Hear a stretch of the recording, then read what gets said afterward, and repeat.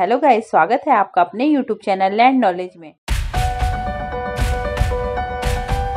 लंबे इंतज़ार के बाद दिल्ली मुंबई एक्सप्रेसवे को यातायात के लिए खोला जा रहा है। प्रधानमंत्री नरेंद्र मोदी 12 फरवरी को राजस्थान के दौसा में एक्सप्रेसवे राष्ट्र को समर्पित करेंगे। इससे पहले सड़क परिवहन मंत्रालय ने national highway authority of India द्वारा निर्धारित टोल दरों के प्रस्ताव को मंजूरी दे दी है। शुरू में दो रुपये उन्नीस पैसे प्रति किलोमीटर के हिसाब से टोल वसूला जाएगा।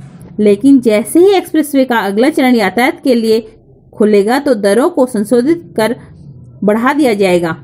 एनएचएआई के अधिकारियों का कहना है कि दिल्ली से मुंबई तक 1380 किलोमीटर लंबा एक्सप्रेसवे बनना है, जिसमें से 275 किलोमीटर का पहला चरण यातायात के लिए खोला जा रहा है। इसीलिए टोल दरों का प्रस्ताव करीब छह महीने पहले ही मंत्रालय को भेजा था, जिसे मंजूरी मिल गई है। कुछ दिनों बाद यह भी अधिसूचना जारी की जाएगी कि कहाँ से कहाँ तक कितना टोल लिया जाएगा। अभी टोल वसूली करने की तिथि निर्धारित नहीं है। एनएचएआई के अधिकारियों का कहते हैं कि मंत्रालय की तरफ़ से तय किया जाएगा कि कब से टोल वसूली होनी है।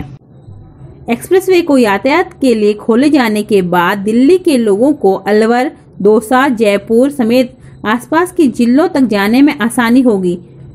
दिल्ली में रहने वाले लोग धोलाकुआ होते हुए एन एच एट के रास्ते गुरुग्राम तक जाएँगे। जहाँ से सोहना गुरुग्राम लिंक हाईवे से दिल्ली मुंबई एक्सप्रेसवे तक जा सकेंगे।